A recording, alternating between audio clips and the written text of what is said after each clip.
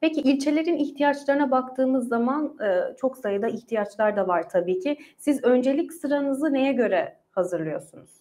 Şimdi bizim her ilçenin kendi özelinde işleri vardır. Onları biraz önce tanımlamaya çalıştım esasında. Bizim fiziki ihtiyaçlarımız fazlaydı. Onunla ilgili çalışmaları çok yoğunlaştırdık. Bir de eğitim alanında bizim derslik sayımız az. O konuda tabii bu sadece e, belediye ile çözülebilen konular değil. Yani bir tarafında Milli Eğitim Bakanlığı'nın olduğu, diğer tarafında valiliğin olduğu bir konsept nihayetinde. Bununla ilgili de çalıştık, çok gayret ettik. Okullarımız e, olabildiğince fazlalaştı.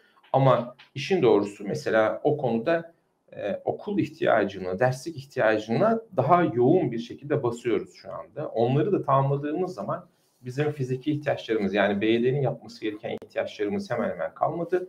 Ama Milli Eğitim Bakanlığı üzerinden derslik, okul yapılması ile ilgili süreçlerde biraz daha hız almamız gerekiyor. İnşallah orada da elde edersek, istediğimiz başarı elde edersek Sultan Gazi'nin fiziki olarak hiçbir ihtiyacı kalmayacak artık.